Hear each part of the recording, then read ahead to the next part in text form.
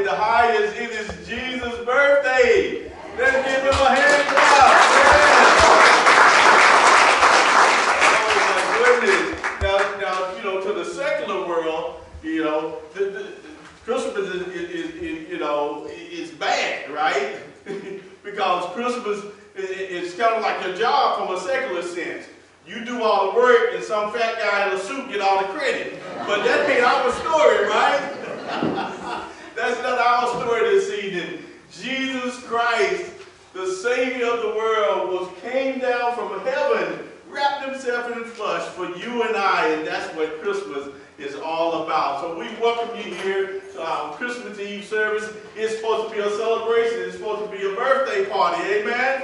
So don't stay here and get quiet on me. Make some noise for Jesus.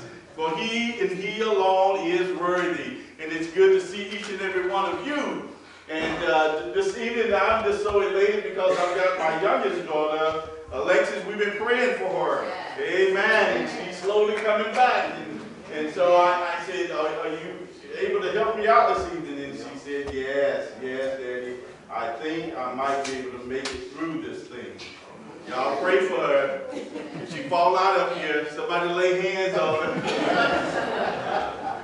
well, glory to God. Yes, uh, how you feeling, sweetheart? Okay. All right. Well, wonderful, wonderful, wonderful. Yes, well, again, we greet you in the name of our Lord and Savior, Jesus Christ. And it wouldn't be a party without a few jokes. You got, you got, you got some jokes for us, some Christmas jokes? Yes. So I do. I was prepped for this. I was told that if I was going to assist, I didn't have to bring the jokes. So, you know, even if it's not funny, just laugh anyway. Please. Okay. So the first one, what do snowmen call their offspring? Anybody? No. Their children. Okay, that one didn't go so well, so we're gonna try another one, okay? Well, most of y'all know that I was in a car accident, so you know we're gonna bring the car humor. Okay, so what cars do elves drive? Toyotas.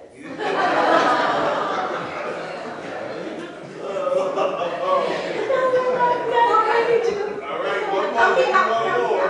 Oh, you want another one? I give you, give you one more. Oh Lord, okay. What do you get when you cross a snowman and a vampire? Oh, I just frostbite.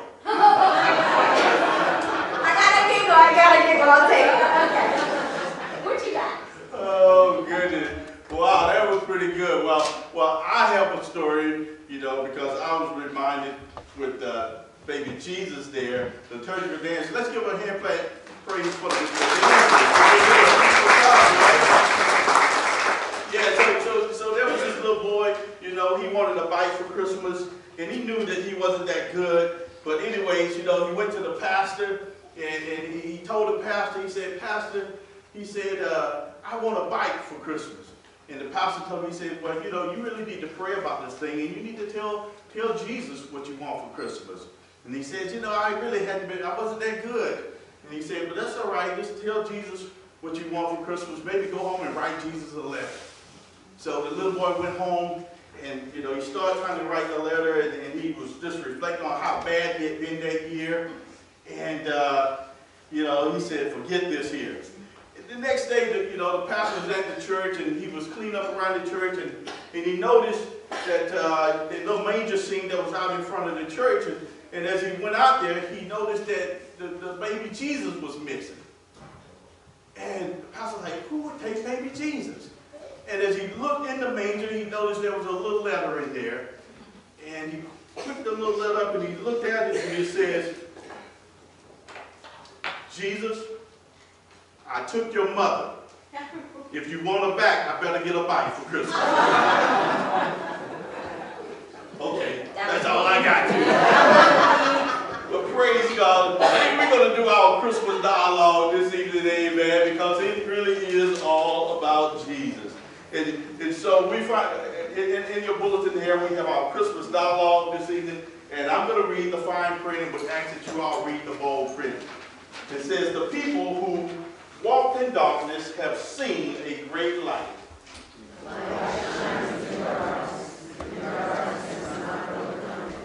Those who dwell in the land of deep darkness, on them light has shined.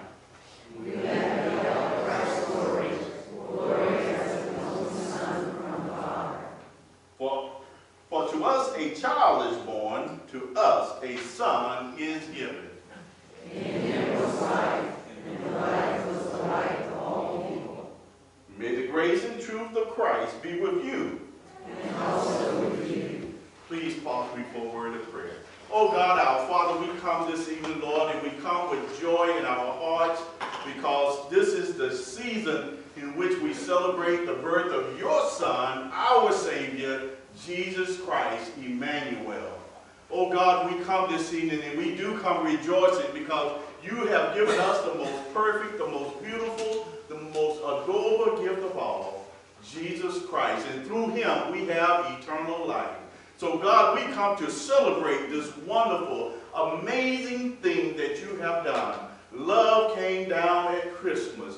Oh God, we praise you and we love you and we just want to celebrate now, oh God. So be with us. Let your spirit rest, rule, and abide with us, oh Father, as we celebrate the birth of Jesus Christ, Emmanuel, God in the flesh, the Prince of Peace, the mighty God, the everlasting Father. Oh God, you are all that to us, and we give you glory, we give you praise in Jesus' name, and we do say amen, amen, and amen. All right, let's see. So we got a, a, a hymn coming up here. Y'all, y'all ready to do some singing? All right. You got some hymn before we sing? Well, first of all, you forgot to tell me to turn myself on. Oh, look at that, the light of the world. I Uh, was supposed to do that earlier, but don't mind you. Okay,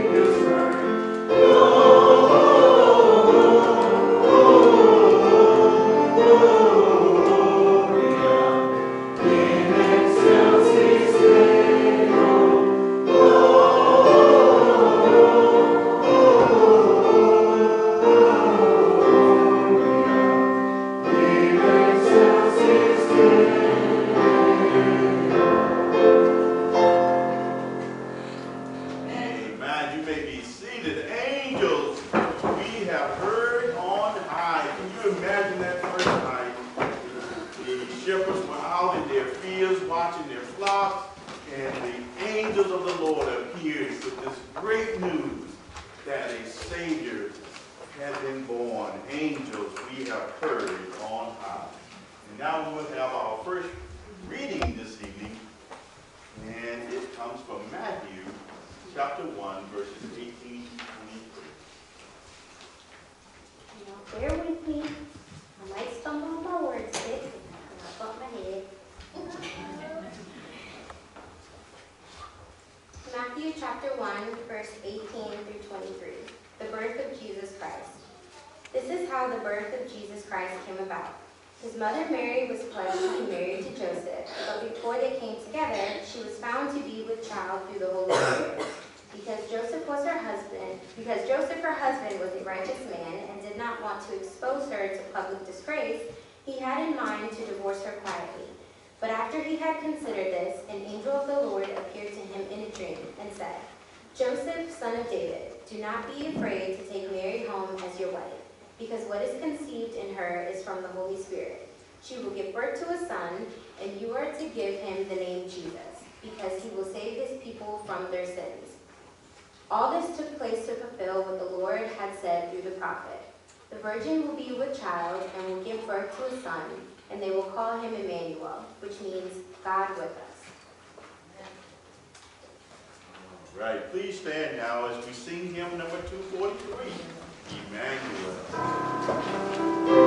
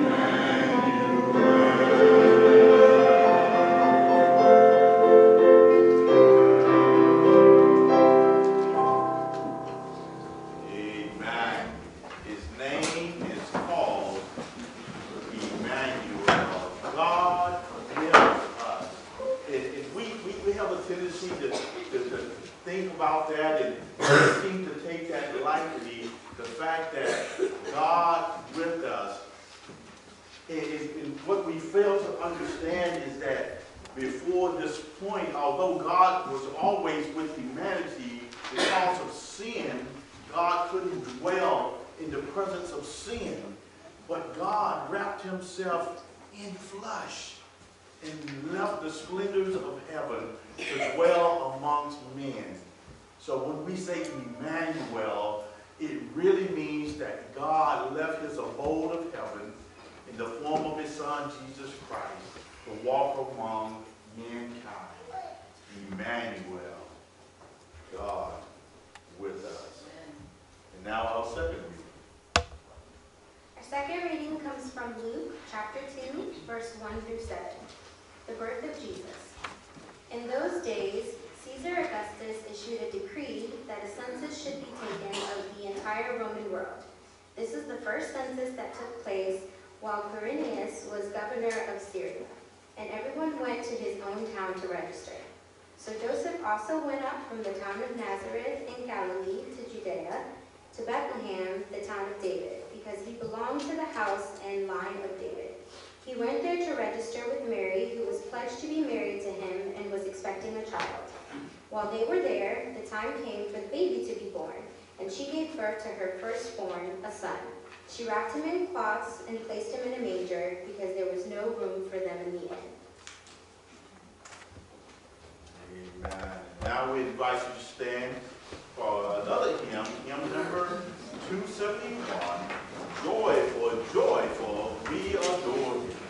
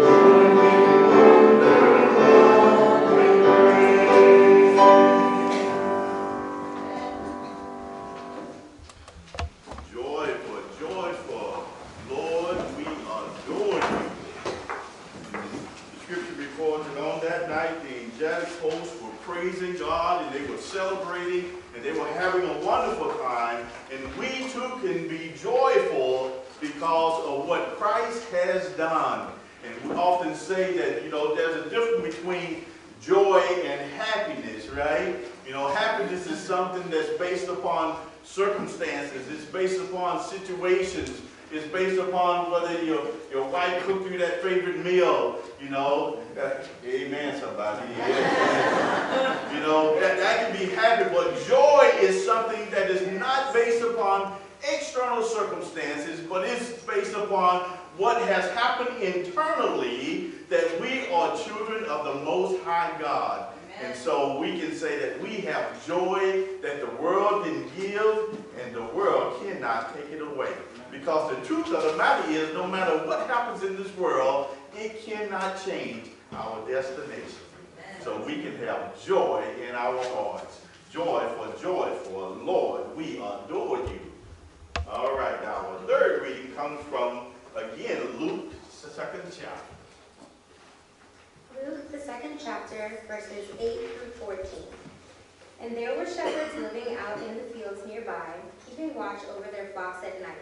An angel of the Lord appeared to them, and the glory of the Lord shone around them, and they were terrified.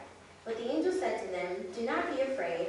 I bring you good news of great joy that will be for all the people. Today, in the town of David, a Savior has been born to you. He is Christ the Lord. This will be a sign to you. You will find the baby wrapped in cloths and lying in a manger. Suddenly, a great company of the heavenly host appeared with the angel, praising God and saying, Glory to God in the highest, and on earth peace to men on whom his favor rests.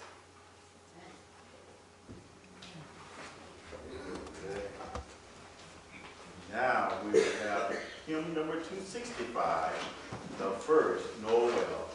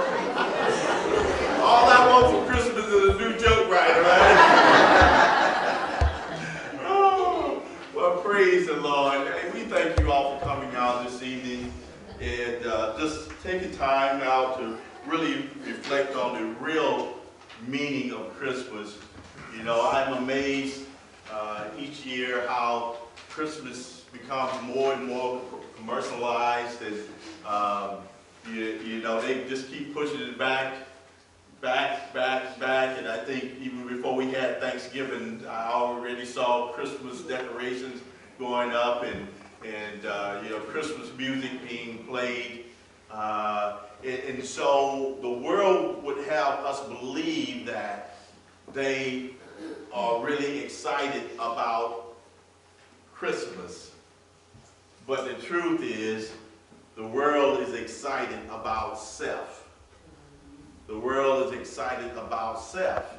And so, because the world is excited about self, the world likes to do things that gratify self.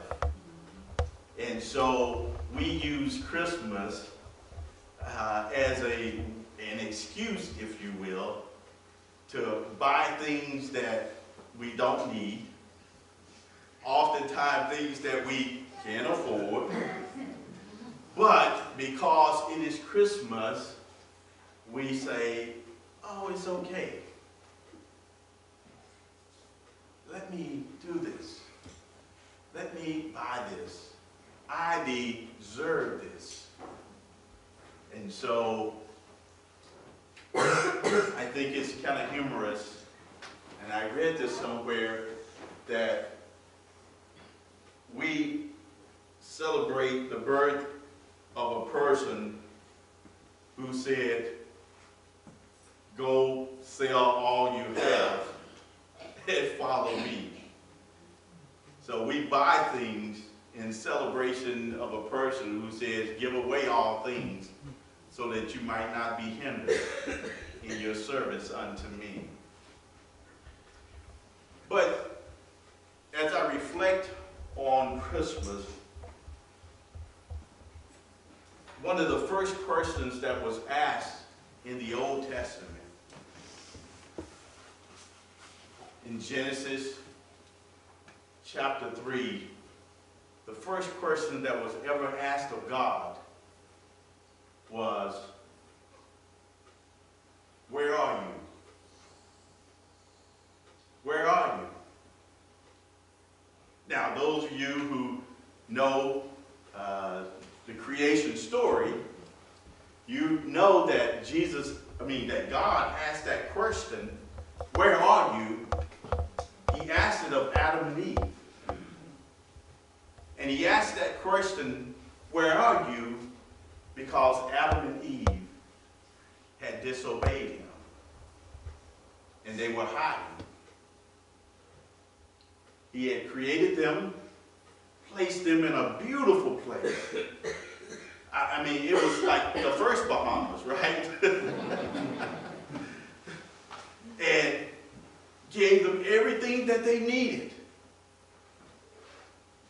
But he gave them one commandment, which was, don't eat of the tree. In the day you eat of the tree, you will surely die. Adam and Eve disobeyed God, and sin entered into humanity. And they hid. They hid because they were afraid and they were ashamed. And so the first question God asked, where are you? And so for hundreds of years,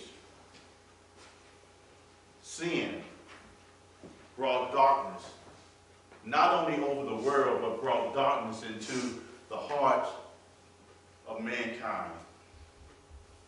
And we see in the Old Testament the story of God wanting a relationship, desiring a relationship with those in whom he had created. But because of sin, they could never quite get there.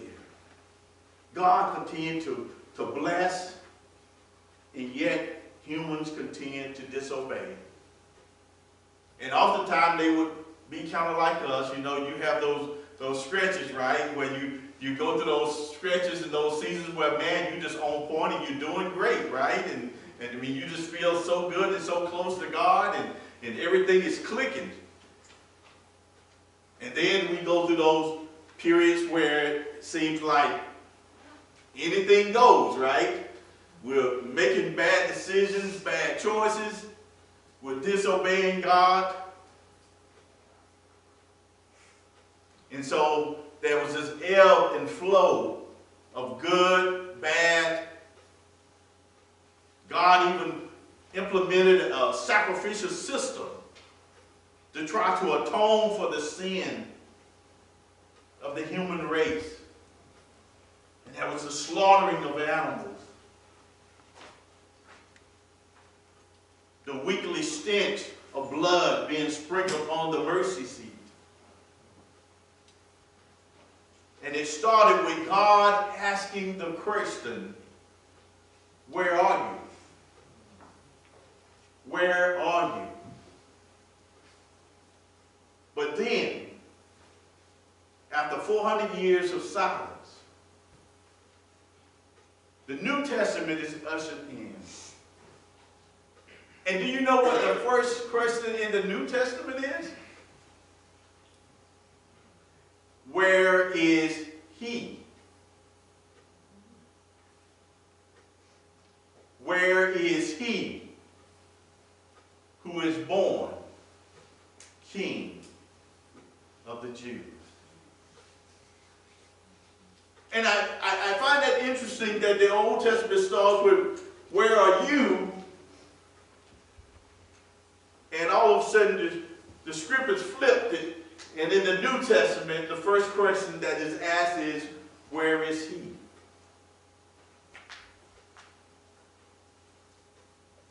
This question was asked of those that were seeking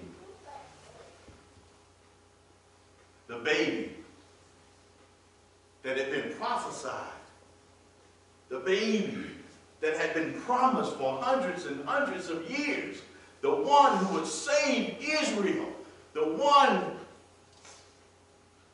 who will restore Jesus Christ. King of kings, Lord of lords. And so I, I leave you with this thought. and the thought is, is God still in the Old Testament asking you tonight, where are you? Where are you? Are you still hiding from God? Because deep down inside, you are afraid and ashamed. If that is your story, you can change that because tonight you can say, Where is he who was born to save the world from their sins?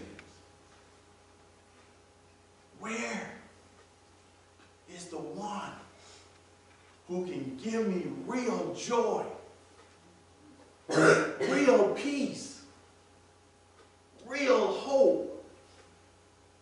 Real love.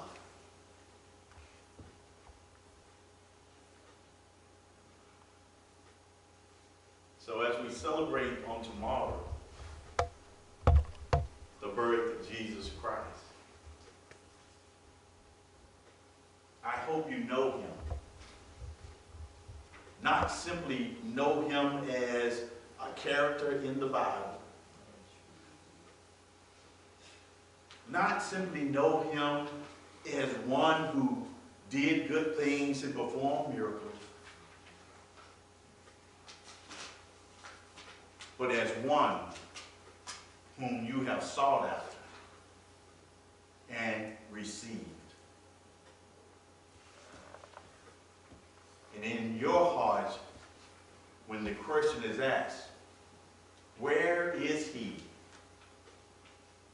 You can respond, he's here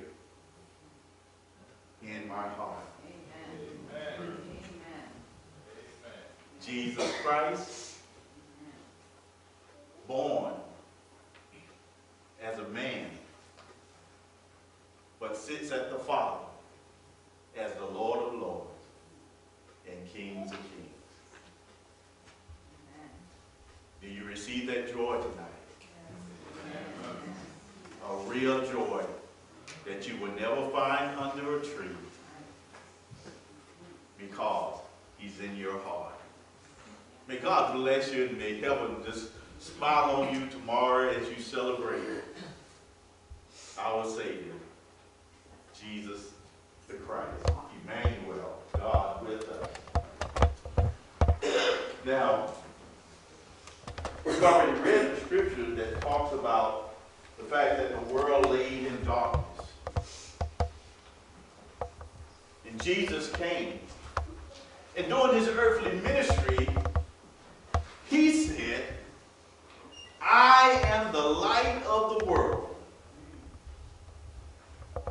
I am the light that pierced the darkness, that pierced the sin that was in humanity's heart. I am the light of the world. But before Christ would leave this earth, he would talk about you and I, and he would say, You are the light of the world. A city that is set on a hill cannot be hid. So, I say this every year, Jesus transferred his light to us so that we might represent true light in a dark and dying world. And so now we will symbolically reflect that light with our candle lighting. And we've got our Advent candle here. It's really lit. I know it's hard to see, but it's really lit. And for the last four Sundays, we have been lighting each one of these candles. Peace, hope, joy. And on last Sunday, we lit the candle of love. But tonight, we have the center candle that is lit as well. This candle symbolizing and representing Jesus Christ, who truly is the light of the world. And so now, we will light our lights from his light. And so, voila.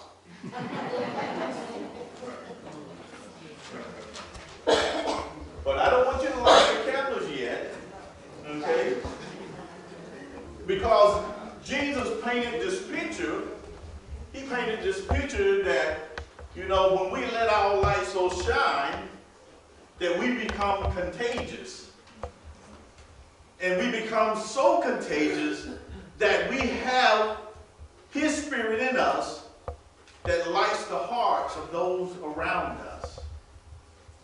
And so, as the ushers come down, they're going to come and they're going to light their candles from my candle. And then they will go down the aisle and they will light your candle. And then I ask that you turn to your neighbor and set them afire. Not literally, amen. but that you turn to your neighbors and set them afire as well.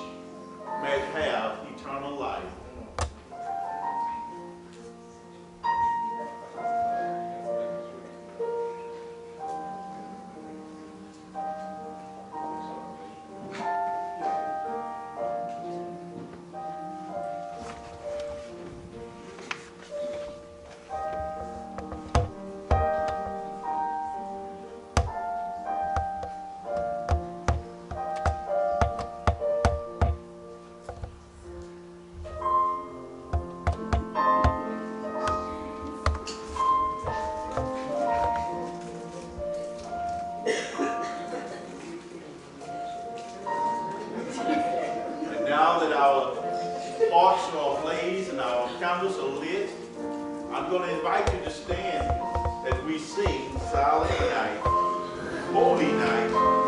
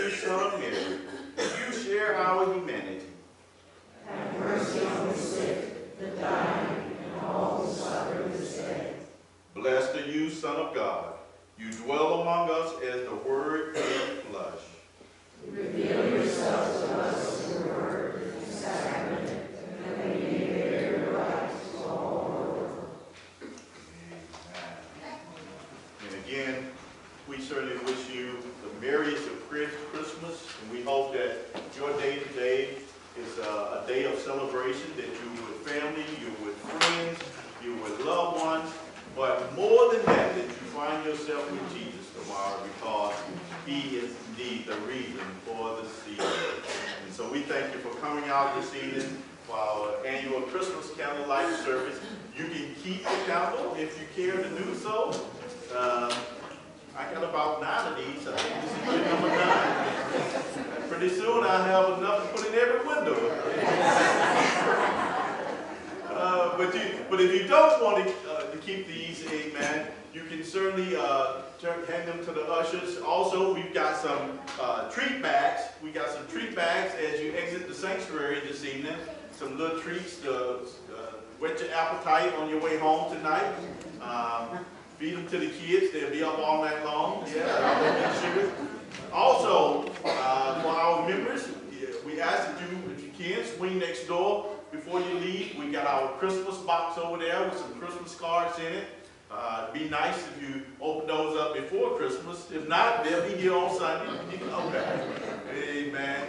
Uh, but again, we thank you all. I thank you, Alexis, for being my wingman tonight. You have a joke or two to take us home? Well, first, I wanted to say thank you to the church because, of course, Dad has been telling me that y'all have been praying for me after my accident. Um, I did show my face tonight because Dad said I haven't been here in so long, y'all thought I was dead. So I'm still alive, just letting you know.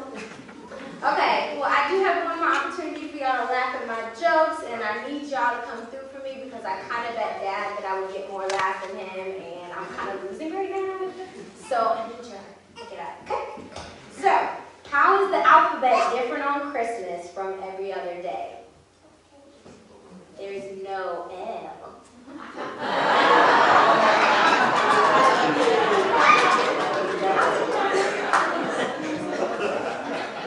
You got any more? Uh, You got any more jokes? well, I'll, I'll let you win on that one. I'll take that. And so we're going to close out tonight by singing again a festive, uh, festival hymn, one that uh, truly the world sings, Joy to the World, the Lord has come. Hymn number 270. Please stand, and as we close out this, when we close it out, at the very end, I want us to give a loud shout, Happy Birthday, Jesus. All right, now y'all got to remember to do this when we close out the hymn, all right? Uh, we're going to sing the first and the last verse of Joy to the World.